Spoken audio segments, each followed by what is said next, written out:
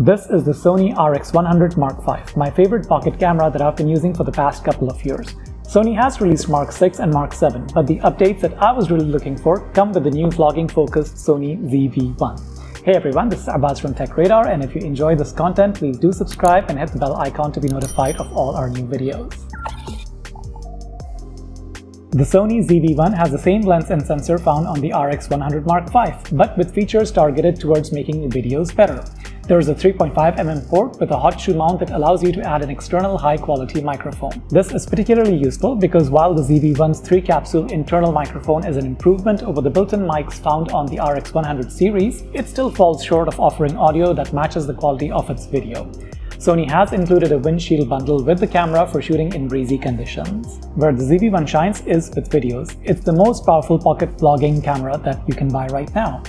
It takes the best video features of the Sony RX100 series, including its class-leading autofocus system, and combines them with design tweaks that make it ideal for shooting YouTube videos at home or on the move.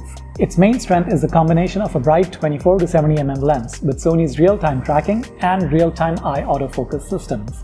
Together with the ZV-1's 1-inch sensor, which is larger than those in today's smartphones, it makes it easy to shoot high-quality videos with easy background blurring and consistent focus. Now the ZV-1 isn't perfect. Its steady shot stabilization is passable for walking videos, but it falls short of the smoothness offered by DJI Osmo Pocket or larger cameras. Its strongest stabilization also adds a slight crop that can make the resulting focal length tight for handheld shots. The ZV-1 also isn't the most user-friendly camera for those upgrading from smartphones. Aside from letting you tap to focus, its touchscreen doesn't work well with its settings and complicated menus. A beginner-friendly section for smartphone users would have been nice. And it's 2020 Sony. Have you heard of USB Type-C? The flip side to this complexity is that the ZV-1 is absolutely packed with features, including a built-in ND filter, autofocus sensitivity options, and profiles like S-Log 2 for those who like to color grade their videos. Sony is also promising live streaming software for Windows users from July 2020.